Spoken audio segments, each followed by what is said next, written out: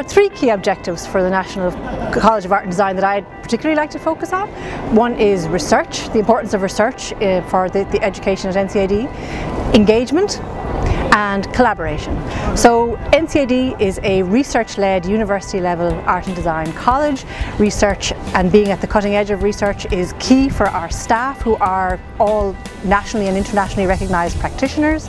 It is really important in terms of the education that we provide and support for our doctoral, for our postgraduate students and particularly in terms of innovation in the space of doctoral provision and doctoral students, practice-led and more traditional research students within the college.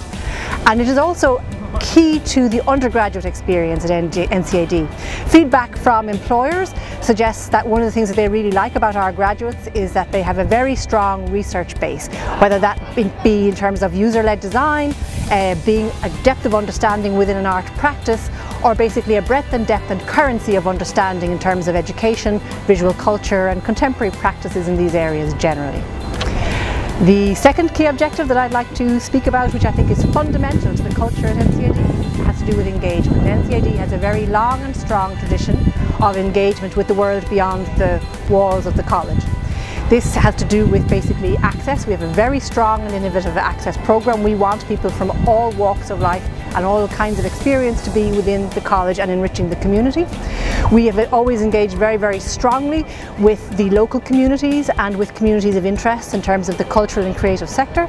And crucially, we have always engaged our students in real world learning experiences and that is really important to the kind of education that is offered at NCAD final objective for the college that I would like to draw attention to is the importance of collaboration as an experience for the students but also at an institutional level. The academic alliance that we have with UCD I think is a really strong example of what is possible through collaboration. It has, it has, it has and will continue to enrich the capacities and the learning experience of our students. It opens up really interesting collaborations like between fine art and physics that you mightn't have anticipated could be as deep and as meaningful as they really are and in terms of the research opportunities for our staff and for um, extending understanding of the kinds of practices that are art and design out into the world beyond art and design, I think it's really fundamental. And uh, so those are the things that I would emphasise in terms of college level objectives. NCAD offers a full spectrum of art and design program. So basically across the whole of fine art practice and all the, the nuances of design, the different design disciplines.